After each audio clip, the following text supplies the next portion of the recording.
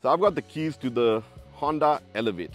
This is their new mid-size SUV and uh, while the world premiere has already been done, uh, I have it out here for a test drive in Udaipur and I'm going to be telling you all about it in this uh, walk around video where I'll show you some of the features, talk about the engine, talk about what it's like and of course key design elements. So from the get-go you can see that it is uh, a vehicle that sits in that uh, you know growing mid-size segment so uh, it is getting to be a crowded space.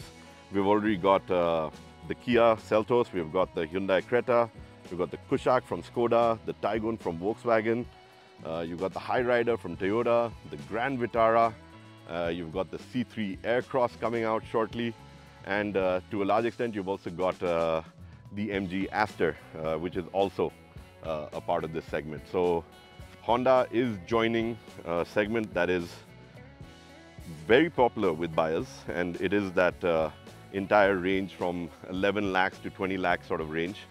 You know that there are other manufacturers that flirt with this uh, segment as well.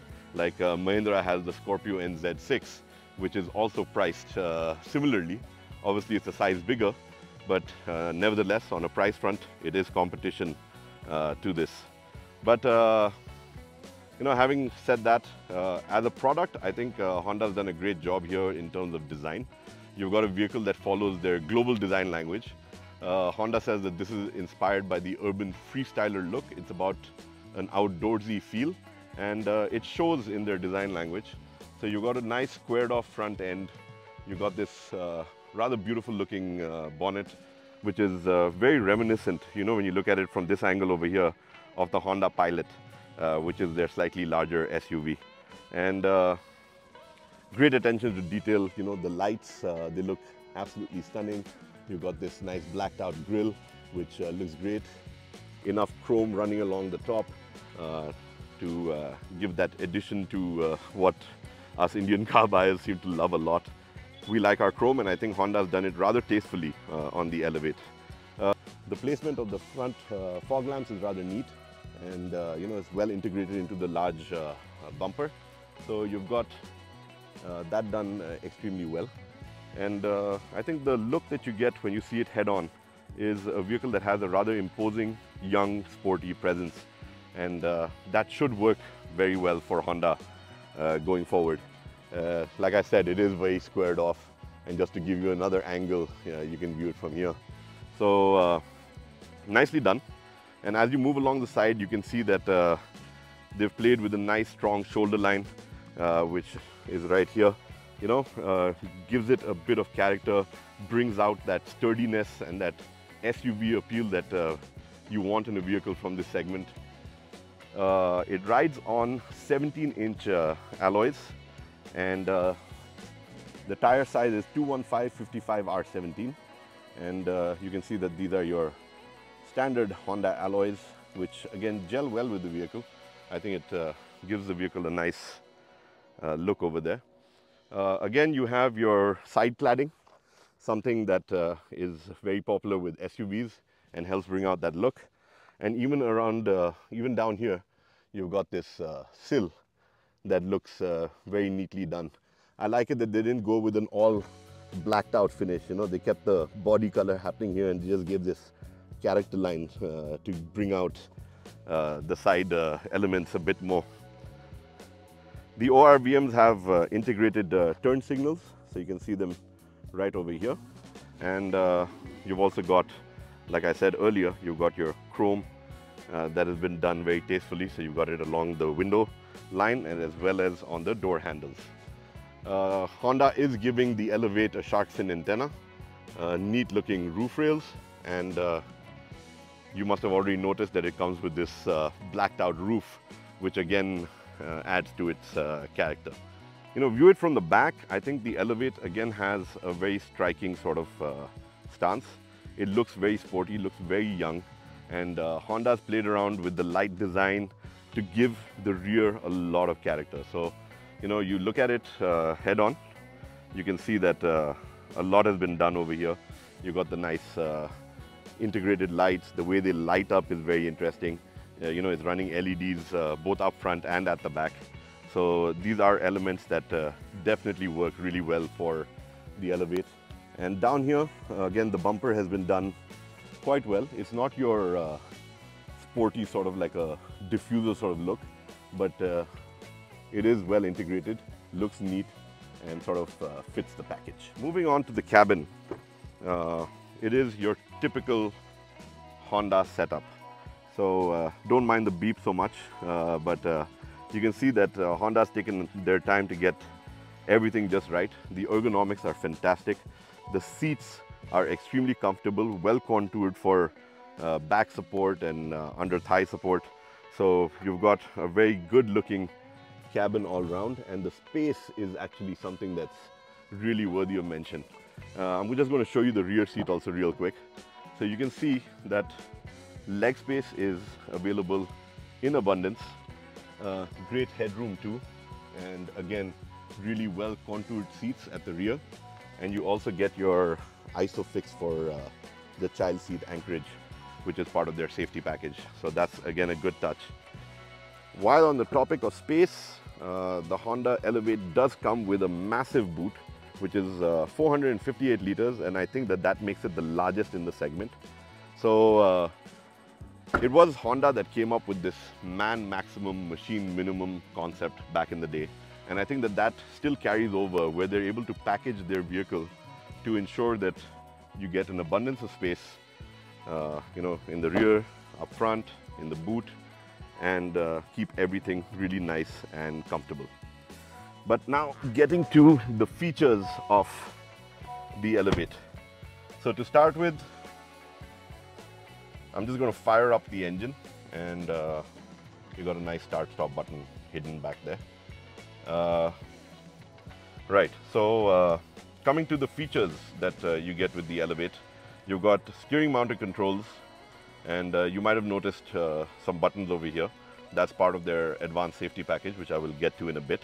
But as you can see, you've got cruise control, you've got your, you know, your answering calls, uh, your voice uh, uh, control over there. You've got your volume controls, source and track. So that's for you to scroll through on the neat large touchscreen. The flickering is because of my camera frame rate. It's not because there's anything wrong with the screen. But you can see that it's a very neat and well integrated uh, large 10.25 inch uh, uh, touchscreen interface divided into two screens. So uh, you can actually toggle around and play around with a host of these features. And uh, got your uh, connectivity. In fact, uh, the Elevate comes with both uh, wireless and wired Android Auto and Apple CarPlay. So you've got options for both, which I think is something that's very neat because not everybody uh, is running around with the cables and not everybody has phones that you know uh, really do the entire wired wireless bit. So uh, you know keeping that in mind I think that that's a very nice thought. The display is your typical Honda display and uh, you can see we have a full tank of gas uh, which we will be uh, running through in due time.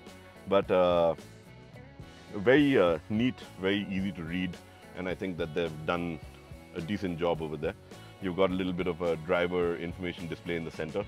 So uh, we did digital readouts and uh, a little bit of driver information for you uh, over there. Uh, Honda is offering the Elevate with uh, you know a nice uh, air conditioning system. it's very effective. the fit and finish that you see in the cabin is outstanding. I think this entire leatherette treatment that you see running through and through really gives it a premium upmarket feel and even on the dash you've got this uh, you know uh, wood look insert to again give you that premiumness. Looks absolutely stunning. And I think uh, it is also in some ways a little reminiscent of uh, uh, the quality that we've now associated with Honda thanks to the Honda City. So anybody uh, looking at getting the Elevate is going to be really happy that it carries over with this quality level. On the door over here, you've got your window controls and your uh, ORVM uh, adjustment buttons. So that's again very neatly done, doesn't hamper with your leg when you're driving. So even if I have my leg on the accelerator, you can see that it's not hampering with the, the door, which is again a boon for tall drivers especially. And uh, Honda has given some storage over here. You've got a wireless uh, charging, uh, uh, you know, bed over here to keep your phone and let that charge. A 12 volt power outlet, and of course your USB connect. Uh, I don't see a USB Type C, which would have been uh, nice to have, but uh, well, at least you have the connections over here. cup holders, neat storage space in the doors. You know, you can fit your water bottles in there a nice large glove box. As you can see, you've got an entire box this big that just fits right in. So very neatly done. Uh, moving on, uh, as far as features are concerned, uh, like I said, you know, you've got your connectivity sorted. You've got uh, Honda Connect, which you can, you know, pair with your smartwatch, and then you get a lot of access to, uh, you know, different information. You've got your geofencing. You've got vehicle alerts you've got all of that that you can uh, also do uh, through the app. But uh, coming back to what I had mentioned over here and why this is part of uh, Honda's uh, safety package. So uh, Honda is offering the Elevate with the Honda Sensing, which is essentially their advanced safety package and it measures up to ADAS level 2 features.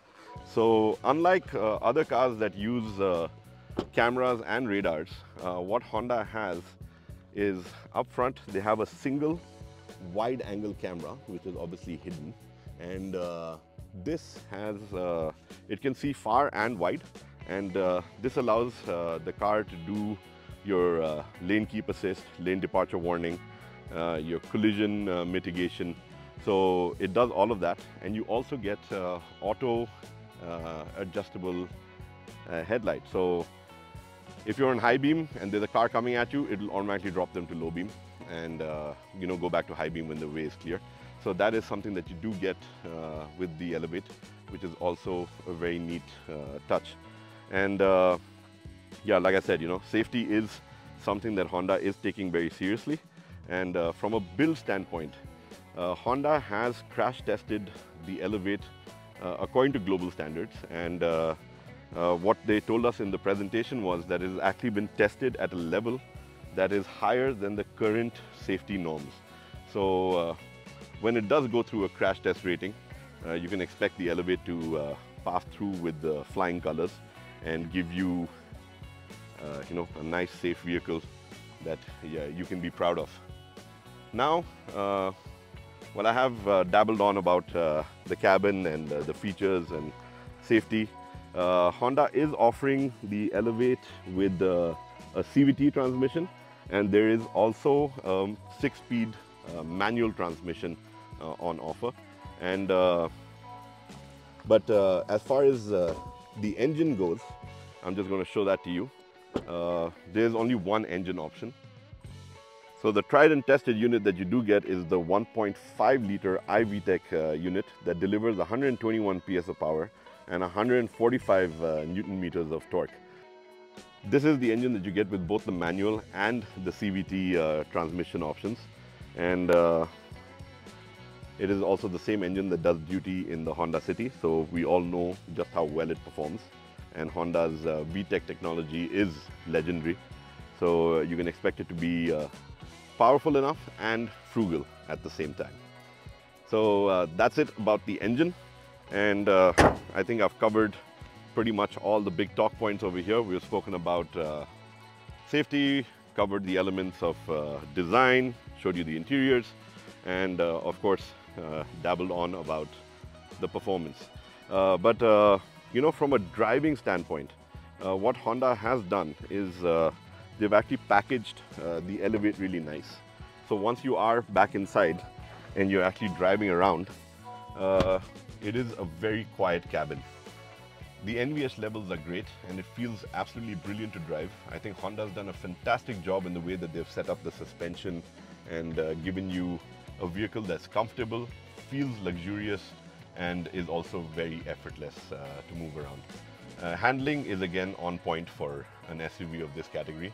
And uh, you know, while driving around, the one thing that I really liked was this view. So uh, what you get to see is the bonnet looks, uh, it runs nice and flat in front of you. So it makes you feel like you're driving something bigger than what you are actually seated in. And I think that that's a nice, uh, you know, quintessential SUV touch. And you can also see the character lines. So it feels special being behind the wheel. And you do get this uh, stunning sort of bonnet uh, flowing out in front of you, which is uh, something that I thought I ought to mention, uh, you know, when you're experiencing the drive. Uh, the steering feels great. I think steering input, all of that has been well thought through. And you've got a vehicle that just sort of uh, tick marks all the right boxes and gives you that exceptional drive feel that you would expect from a vehicle in this category. So on that note, we come to, you know, where does the Elevate truly sit? Uh, when I started this video, I did mention a lot of the competition. And like I said, it is a very crowded space. So, uh, you know, Honda will have to uh, really play their cards right because it is a cutthroat market at the end of the day.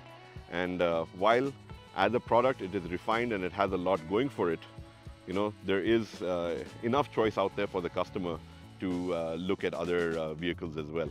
So to truly you know, get the game started and sort of uh, push the envelope here a bit, uh, you could uh, expect Honda to do something about the pricing. And in my books, I would think that this would actually have to be priced extremely aggressively. And uh, you would suddenly find that it's flying off the shelves. So uh, if I had it on my wish list, I would say that the Elevate should uh, top out at about a 15 lakh rupee you know, ex-showroom price for the top-end uh, version. And uh, that would be exceptional value for money. And you'd be getting a Honda uh, product at that price point, which would be absolutely stunning. So I'm going to keep my fingers crossed on that. Uh, prices will be revealed, I believe, uh, all the way down the line in September. And uh, that's when this car will eventually hit showrooms as well. And let's wait and watch on that one. But as a product, I think Honda has jumped in the game. I know that they're not the first uh, people to step into this category, but uh, they have a product that uh, looks like it will deliver. It feels refined. The comfort is uh, definitely one of its uh, really strong plus points, the way it's been packaged. And, uh, you know, they've tick marked all the major elements in terms of features as well. So, you know, there's going to be a lot of argument. Yeah, you get this with competitor A, you get this with competition B. But uh, at the end of the day, when you look at it, you know, as a product sitting in this segment, I think the Elevate does have a lot going for it. Well, on that note, I hope you enjoyed this video and uh, the walk around of the Elevate. Uh, do like, share, and subscribe. Uh, don't forget to hit that bell icon so that you get uh, regular notifications of when we put up our latest videos. And uh, we do look at bringing more uh, automotive content out for you. we've got interesting segments, uh, that we do uh, apart from our reviews. So do feel free to check out uh, our playlists as well.